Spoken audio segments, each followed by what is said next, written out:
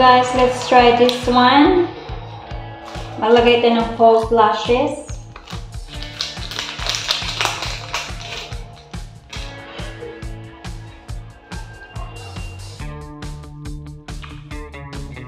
And then may ano siya dyan, may parang needle siya. Ilagay natin dito.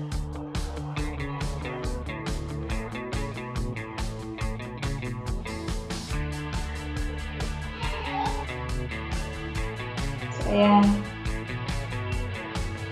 Maglagay lang ako ng um, glue dito guys para mas madali, mas easy sa akin na gamitin siya. So, ganitong amount lang yung, ganyang amount lang yung nilagay ko sa, sa ano, sa container. And then, maglagay lang ako ng more pag kailangan ko pa.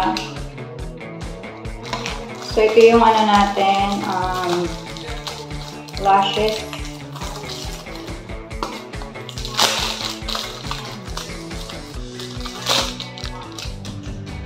So, ito yung lashes natin. Ang number niya is size 9, 11, 13. Yung sizes niya. So, maglagay kayo ng mga 2, 2 size 9, and then 11, and then 13. Oops, how?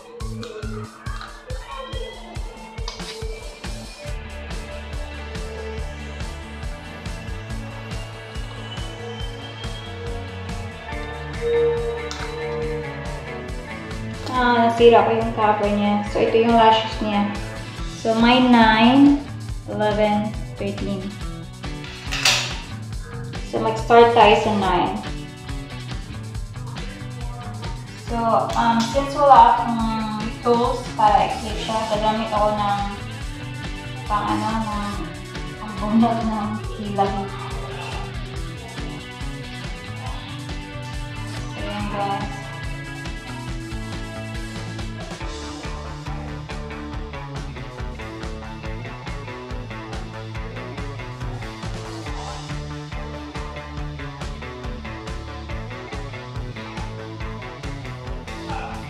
nag-dip lang ako ng glue.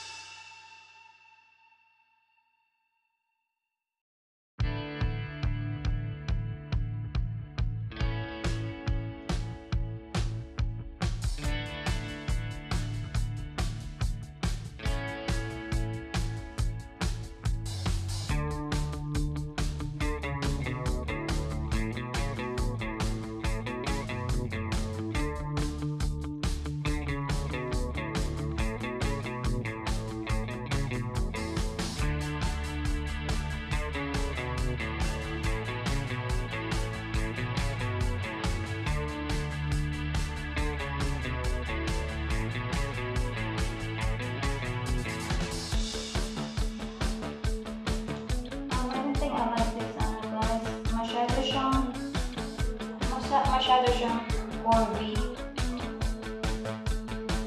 Facial, ah, ano?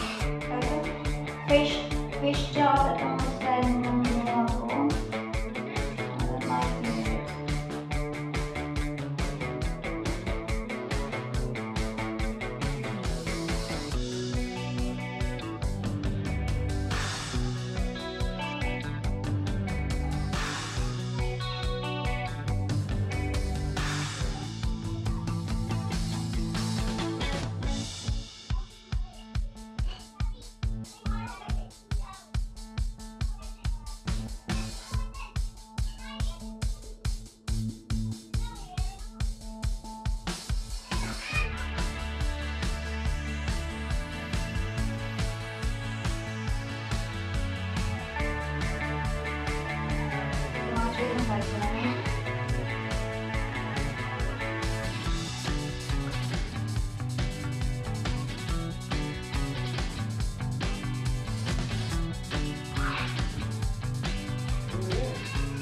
guys, ano?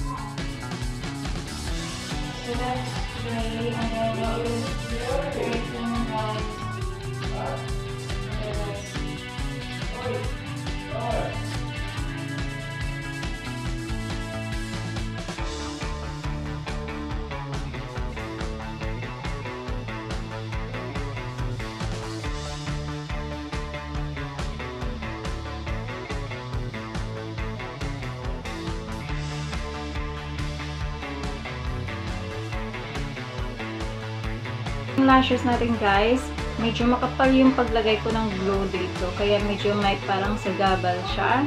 Dito nagamay ko yung paglagay niya. Kaya medyo okay yung ano ko. Pero dito medyo masakit or sagabal. So ito yung tinatawag na tiis ganda no. Mm. So ito yung tinatawag na tiis ganda.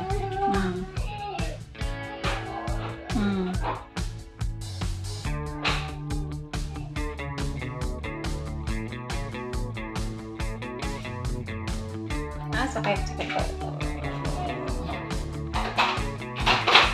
Kasi parang may something dito eh.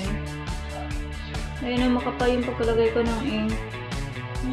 Eh, makapal yung pagkalagay ko ng glue. Kaya medyo may sagaba dito. Dito light lang yung feeling. Dito parang heavy yung feeling.